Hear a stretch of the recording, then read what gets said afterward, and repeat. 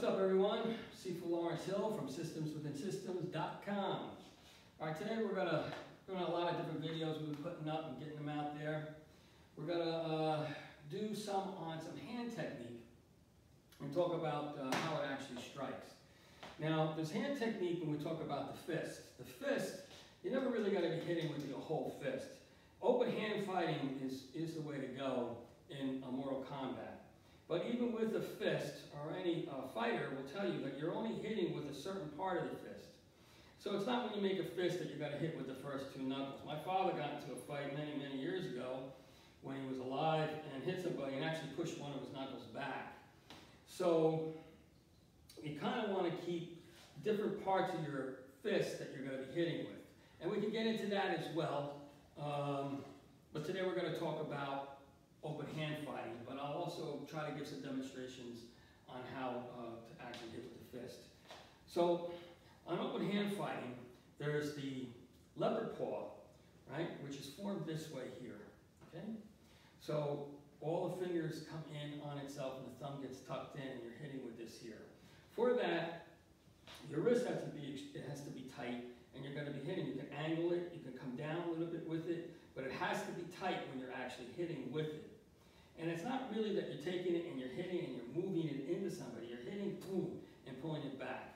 You can even extend, right? Drop the two fingers down and extend these two, right? To come more with a, like a phoenix eye type of hit, but you're coming down this way. And a phoenix eye works the same thing where you can start to manipulate and it comes in from your leopard paw, it can come in from here, right?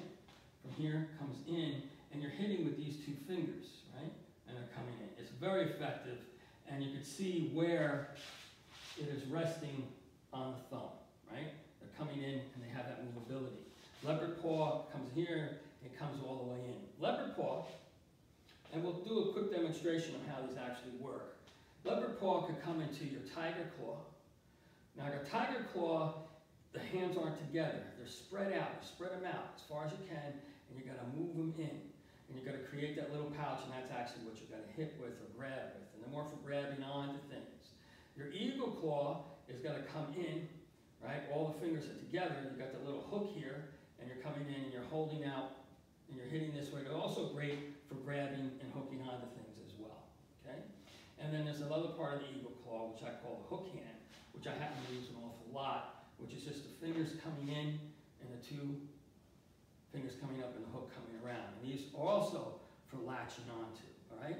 So you got your tiger claw, you got your eagle claw, you got your different hooks from this, you got your leopard paw, you got your double phoenix eye, your single phoenix eye, which rests on the thumb, right? Is there any other basic ones that we need to cover? Uh, besides, we've already did on the praying mantis and the crane and stuff like that. We talked about that. We did some demonstrations on it uh, all this, the hook. This is a really cool one, right? And this latches on, which really allows you to work with the hand, the person's arm, and move around and hold on to things, right? And sometimes also from here, this comes down and hooks on as well. So it, it adds a lot more power to your hand when you're actually grabbing something, right? Now, when we talk about grabs, and we'll get into that as well and how these work uh, down the line, a grab isn't something that you maintain. Like you grab somebody, you hold them there. A grab is to manipulate an opponent. So if I'm grabbing this way, I'm not trying to hold them there. I'm going to manipulate that opponent, manipulate their movement. If I'm grabbing to hold, like I'm trying to restrain them, that's not really uh, what the combat is about. It's about moving from one stage of positioning to another stage of positioning to make it work. Okay? So, Vic, can I call you out here for a minute? Right? So let's just take something real simple at first, and we'll take the leopard paw, which is this way, this kind of strike. So a leopard paw is um, coming out here. You see how I'm forming it from here. I'm coming in and I'm hitting, right? So as I hit with this, you see how it comes back? I also have the thumb out. So I can hit and come in here and hit with the thumb into the eye, as you can see, right? As I'm coming out, I can hook or just push it through. It's a nice way to get into the throat action, temple action, right? Even coming into some rib action, just hitting down, right? So, but it has to be, you can't take your hand and take it and lay it in. You can't push it in. So I see, I was just watching something on uh, Instagram where a guy was doing like that one inch punch, and he was a big guy and he threw that punch, but you can see where he pushed the punch and the guy went flying. It's not about pushing the punch, it's about hitting and getting it back. That's really that creates the shock wave. So if I'm standing here with a leopard paw, I can even come up with a dragon paw, which is this here. So if he's standing here and I come up with a dragon paw to move, then right from here, I can form my leopard paw. This comes in and hits, you see? These dragon paws are moving this way, right? They're coming up this way. It's like a reverse leopard paw, but everything's down, like you're doing a, uh, a cow. Mm. you're coming down this way with the others, right? It's coming down. So if I'm moving this way, you see where it could come in, and come in with the leopard paw how that works. So you could just start moving in with these things and they hit, then they're meant to hit and come back. I can take the leopard paw, to show you different variations on a theme. I can take this leopard paw and come this way, across hit here. You see how it turns in? So I, I come here, I can come right across the bridge of the nose, just boom, come in. I can also do that to the throat. I can come in here, here, here, here. You see how you start to circle? So you have a lot of things to it. And basically you're hitting with this part of your hand, or you could take it and switch it out, and I could come in and hit here. So my hit comes in this way, where I'm hooking right into the face. If I like to, I could come in here and just grab that ear as I'm coming through and hook in, right? Because they hook and like to come in and hook.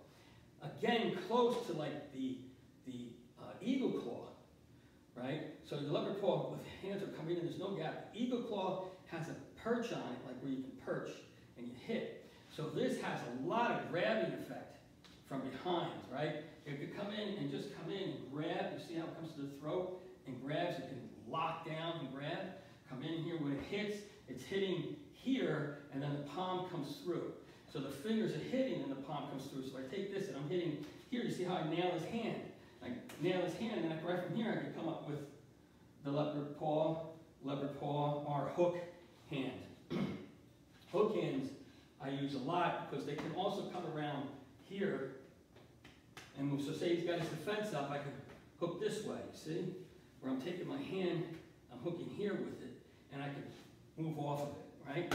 This is also this type of one you saw where here. So now, as it goes to pull away, this is where I follow it, and I come in, and you see where I'm going to come right into here, and where you can hook with the thumb and whatnot. So this also has a nice strong grip on it, where you can really hold, you can see. So as he moves away, I can move with him.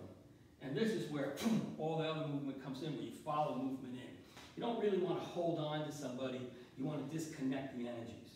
So you see where all this movement coming in, leopard paws, right? The different eagle claws. And the tiger claw, I think that's the last one we have to do, right? Mm -hmm. The tiger claw is a little bit scary. It has a lot of effect, but uh, and one of the things is, it's like years ago I used to keep my nails long and actually use it when I was doing a lot of fighting uh, and you would scratch the person's eyes, and blood would go into their eyes, and, and sweat, and it would work. But today, you don't want, today things are different. You don't really want people bleeding on you, and you don't want all that stuff under your nails either. So it's more fingertips, right? It comes in this way. So if I'm hitting this way here, um, I'm hitting like this here, you see? Right? So the hit's coming in here, like the palm strikes we went over in, in previous videos with the Tai Chi. And then I'm forming this here. So when I form this here, I'm locking with my fingers and holding on. I'm locking with my fingers. So as I'm coming in, it's here and I'm coming in with my fingers. So if I'm hitting here, boom, I lock it with my fingers, not my nails. So if I'm hitting, I can move this way without really scraping, scratching, but just kind of have that pull. Just boom, here, hit. And they are really nice for just holding. And just see, like now, I'm doing this way, right? So when I'm grabbing the hand here, I'm forming a tiger claw on the hand. Not an eagle claw, eagle claw is this way, you know, tiger claw. So, right, we'll stay on this side. You can see this is the eagle claw, which cuts in, right? This is the tiger claw, where I'm coming in here, and then I'm just squeezing. right? And it holds a nice grip, right? You can feel that, right? It has a nice grip. Now you have to remember, this is why I'm saying that when people are fighting in real life, when you're doing this, people's adrenaline is going. They're dependent on the level of fighting experience that they have and where they're at. They're not pain or that hold. When you're standing there, you can feel that a little bit. You can feel the grip, but just so that you know you can experience a little bit, but you're not in real life combat going to be holding him there because he's not going to cater to that. He or she is not going to cater to that because everything's going. They're fighting, all out fighting. You can feel that enough to manipulate. I'm here and I can manipulate that movement enough to move off of it, right, and to come through with something else. And that's how you connect the dots. In the next videos that we're going to be doing, we're going to talk about that. We can remember it, right? How to work off of people's attacks, how to see people's attacks. And I'm going to have Vic or one of my guys actually launch some attacks and show how you're actually defending against those attacks without getting into this, if he throws a punch and you're doing this kind of blocking, and that doesn't really work uh, only, only in the movies. If he's throwing something here, and I'm lined up to it, my block's got to come right from here. And that's really important to know, especially when you get into knife fighting or uh, any type of you know weapons uh, coming at you and whatnot. Especially if the guy's you know much bigger than you, the person in front of you is bigger than you, and they start swinging like like a crazy person. Is there anything else that we need to cover? No, Anything? So again, guys, thanks, Vic. Again, guys, you have, we did cover one other thing that we, I didn't cover when we did the separate ones, was the dragon paws, which come up this way, and we'll discuss how to actually use them. We got the tiger claws, we got the eagle claw, we got the other eagle claw, the hook hand, right? We got this, you know, I, I don't even know what I call this. it reminds me of an ant just like grabbing and clipping on a thing, so, right? And, um, well, we had the uh, leopard paw, and we also had the phoenix eye. I use these a lot, actually. You know, they're really like to target in to different places. Vic, can I call you out here just for, for, for a moment? So if Vic is standing here, let's, let's face on the, on the other side. To give it, if Vic is standing here and he's got his hands up, you can see where this goes here. You see where I'm hitting here? So my hand is going right here. See where I separate them a little bit? And I go right for this, then I take this and hit right into here. So boom, it just comes in, and then I can just hit even down with it, up with it. It's just really powerful. But you want to make sure that you're holding it onto your thumb you know, so it reinforces it, the hits. And then your hands become these, Vic, then these hands become these, little tools. So you want to think like a surgeon. Once you get your hands inside something, you don't want to just pull them all the way back out and come in. You want to hit and work. Be hitting, working, hitting, working, working. Everything stays here. Then you combine the chops, you combine, you know, the praying mantis, the crane, all this stuff starts to come in. Bam, bam, bam. And you really start attacking, have a lot of different ways of attacking. And we'll get into, on the next one, if you guys remember, or Vic remembers, we'll write it down. We'll get into how to line up your opponent and what you got to do. We talked a little bit about that command in your map, but more how to line up your opponent and block and what blocking really is with these types of techniques. All right, guys, thanks for listening. Grow, learn, teach. Breathe.